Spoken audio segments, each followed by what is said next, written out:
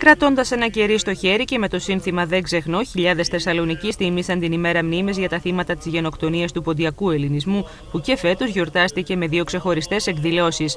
Η αυλαία άνοιξε στην πλατεία Αγίας Σοφίας στο κάλεσμα που απίφθηνε η Παμποντιακή Ομοσπονδία Ελλάδος και στο οποίο ανταποκρίθηκαν σωματεία από όλη τη Βόρεια Ελλάδα.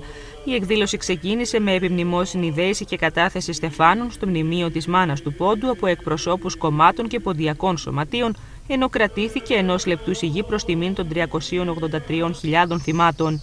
Στον διαρκή αγώνα του ποντιακού ελληνισμού για διεθνή αναγνώριση της γενοκτονίας, την οποία έχει ήδη αποδεχθεί η διεθνής ακαδημαϊκή κοινότητα, αναφέρθηκαν οι ομιλητές της εκδήλωσης, μεταξύ των οποίων και ο Τούρκος ακαδημαϊκός και ακτιβιστής Σαΐτ Τσετίνογλου. Ο αγώνας για τη διεθνή αναγνώριση συνεχίζεται όλα αυτά τα χρόνια. Ε, Δυστυχώς ο οργανωμένος ποντιακός χώρος πολλές φορές μάχεται μόνος του, αν δεν έχει υπονομευτές ε, από μέρους ε, της επίσημης ελληνικής ε, πολιτείας. Ε, δεν είναι κάτι το οποίο ε, τον αγώνα για τη διεθνή αναγνώριση τον αντιστρατεύεται η ελληνική πολιτεία.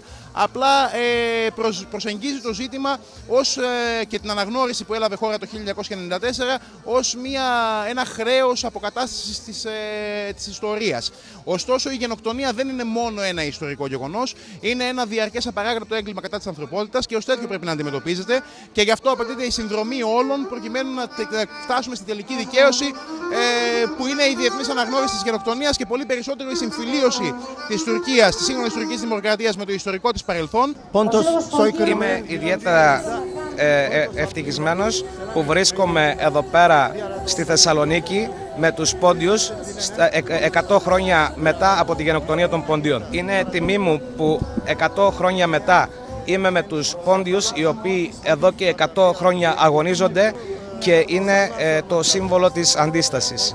Η δεύτερη εκδήλωση που οργανώθηκε από την Πανελλήνια Ομοσπονδία Ποντιακών Σωματείων πραγματοποιήθηκε στο Λευκό Πύργο. Εκπρόσωποι Ποντιακών Σωματείων κατέληξαν στο μνημείο της Θεσσαλονίκης σε επιτά από πορεία με αφιτηρία την Αριστοτέλους, στην κεφάλη της οποίας βρίσκονταν μαυροντημένε γυναίκες που κρατούσαν τη φωτά, σύμβολο ιστορικής σημασίας για τον Πόντο. Στην εκδήλωση συμμετείχαν μέλη Ποντιακών Σωματείων με τις παραδοσιακές στολές και τα λάβαρα, αλλά και εκπρόσωποι της αρμενικής κοινότητας. Η εκδήλωση πλαισιώθηκε με παραδοσιακά ποντιακά τραγούδια και χορούς, αλλά και με το στήσιμο ενός ποντιακού σπιτιού στο πλακόστρωτο της Νέας Παραλίας. Αποτίσαμε φόρο τιμής στα θύματα της γενοκτονίας των Ελλήνων του Πόντου και θέλουμε να μεταλαμπαδεύσουμε και στις νεότερες γενιές και στους αγέννητους Έλληνες ότι μέσα στο DNA του Έλληνα είναι η συλλογική μνήμη. Δεν θα πρέπει να ξεχνά κανείς ότι είμαστε απόγονοι των υψηλάντιδων και των διενίδων ακριτών και θα πρέπει να κρατάμε ως ματόχαντρο στην καρδιά μας τον πόντο, αυτή η κυβωτώση της μνήμης.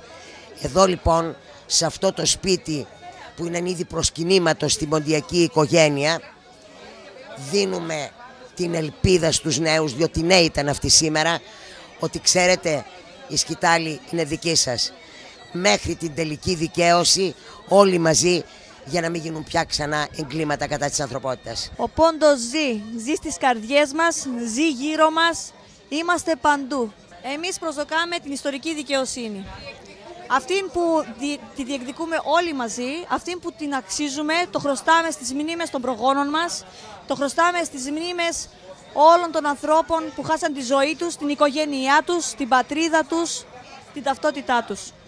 Στις εκδηλώσεις παρέστησαν βουλευτές όλων των κομμάτων και εκπρόσωποι των τοπικών αρχών, οι οποίοι τόνισαν την ανάγκη για κοινό αγώνα με τελικό στόχο τη διεθνή αναγνώριση της γενοκτονίας, αλλά και τη διατήρηση της ποδιακής γλώσσας και πολιτιστικής κληρονομιάς. Ο Δήμος Θεσσαλονίκης, προκειμένου να διατηρηθεί η μνήμη, η μνήμη αυτής της φυλής της ελληνικής, ε, έχει μαθήματα, κάνει μαθήματα της ποντιακής γλώσσας.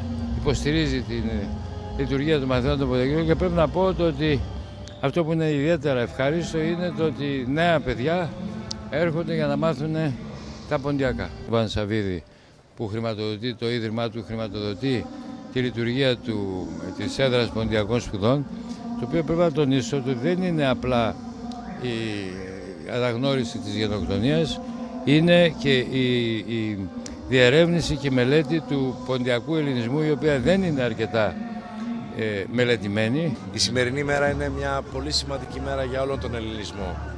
τιμούμε τη μνήμη των 353.000 ποντίων που σφαγιάστηκαν από τις τουρκικές δυνάμεις.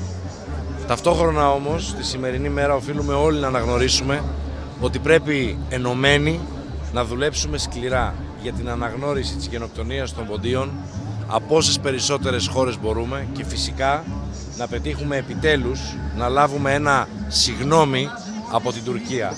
Στο πλαίσιο των εκδηλώσεων, για πρώτη φορά φέτος έγινε επίσημη τελετή υποστολής της σημαίας του Λευκού Πύργου από το Τρίτο Σώμα Στρατού με τη συμμετοχή αγήματος ποντίων.